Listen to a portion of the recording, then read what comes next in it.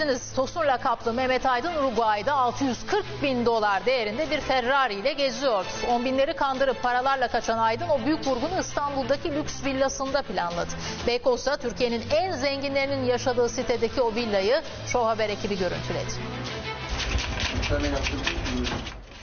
Büyük vurgun işte bu adreste yönetildi. Mehmet Aydın ve Çiftlik Bank yöneticileri yüz milyonlarca lirayı Beykoz'daki bu lüks villada topladı. Polislerin baskın yaptığı o adresi Show Haber ekibi görüntüledi. İşte Mehmet Aydın ve yanındaki çalışanlar Beykoz'daki bu 3 katlı havuzlu villada aylarca o mağdurlarını dolandırdı. 500 milyondan fazla bir vurgun yaptı. O vurgunu yaptıktan sonra buradan ayrıldı. Uruguay'da 640 bin dolarlık Ferrari'de görüntülenen Tosun lakaplı Mehmet Aydın, Türkiye'den kaçmadan da lüks bir hayat sürüyordu. 77 bin kişiyi dolandıran Çiftlik Bank'ın sahibi Mehmet Aydın'ın Beykoz'daki işte bu villasını görüyorsunuz. 3 katlı bu villa ve burada merkez üssü o çiftliğin Çiftlik Bank'ın merkez üssü burasıydı.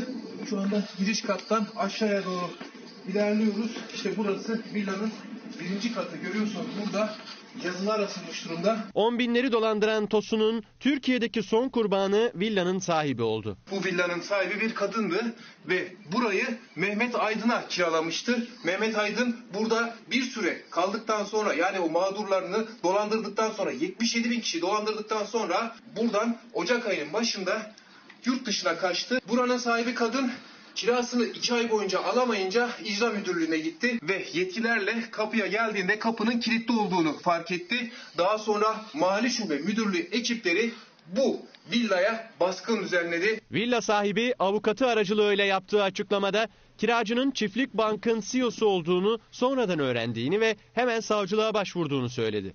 Mali Şube Polisi eve yaptığı baskında çok önemli veriler elde etti. Onlardan en önemlisi ana serverında bulunduğu 9 adet bilgisayar ve bunun yanında kağıt öğütme makineleri de ele geçiren malzemeler arasındaydı. Aynı zamanda bazı eşyalar vardı. Fırınlar, projektörler ve çay ocakları gibi bazı malzemeler vardı. Onlar da tutanak altında alındı ve işte gördüğünüz gibi villanın camına asıldı. Villada içi hortumlanmış bir de çelik kasa vardı.